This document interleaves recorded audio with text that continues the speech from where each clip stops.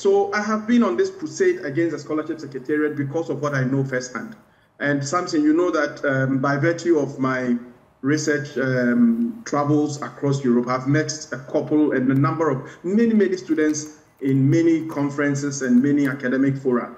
And they tell me stories that, um, for example, I go to France for a conference and I meet a Ghanaian student who tells me his experience with scholarship secretariat.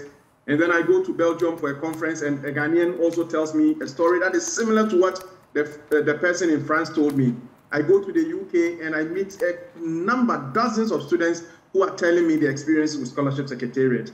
The same thing in Germany, you meet students and they tell you stories about Scholarship Secretariat. And all these stories, when you tally them, you see a semblance or you see a, a trend that makes it impossible for you to ignore the stark uh, reality or probability that these stories are probably true by virtue of the preponderances and the corroborative natures, uh, nature of the kinds of stories that you hear from, from these students.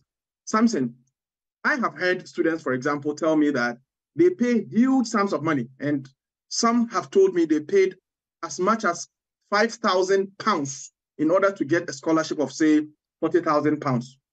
I have heard students tell me that they pay sometimes just 30,000 Ghana cedis just to get a letter to prove that scholarship secretariat is willing to give them a scholarship.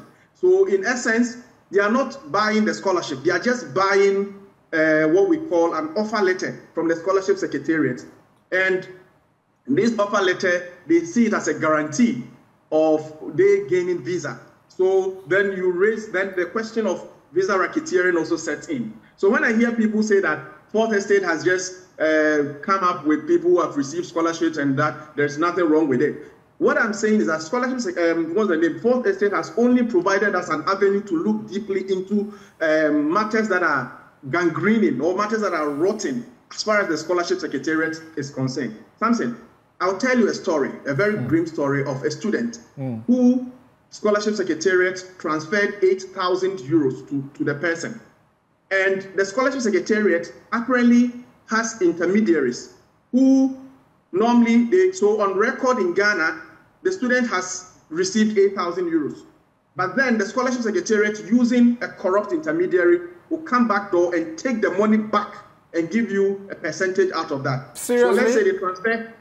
Yes, this is stories that I've seen. And in fact, I have seen evidence of somebody whose bank account was closed down because when the scholarship secretariat sent the intermediary to take the money, the person went to withdraw the money at a go in an European bank. I don't want to mention the country for fear of they victimizing the students in these countries. So when he went to withdraw the money, all of it from the bank, it triggered an alert within the banking system. How can somebody come in? Because in Germany, for example, you're allowed to withdraw uh, 2,000 euros at a go. So when they saw such withdrawals happening within a short space of time, it triggered an alert within the banking system. They wrote a letter to this person and closed down his bank account. I have seen the letter with my own eye. The person's bank account was closed. Why? Because when scholarship secretariat transferred the money, the person went to withdraw the money and gave 6,000 euros out of what was transferred to the corrupt agent who was fronting the, this uh, whole thing for, for the scholarship secretariat. So when we talk about the scholarship secretariat, the problems associated with the scholarship secretariat are enormous. There is a problem of nepotism. I have seen people who have PhDs and have still been offered scholarship by scholarship secretariat to go and do PhD again.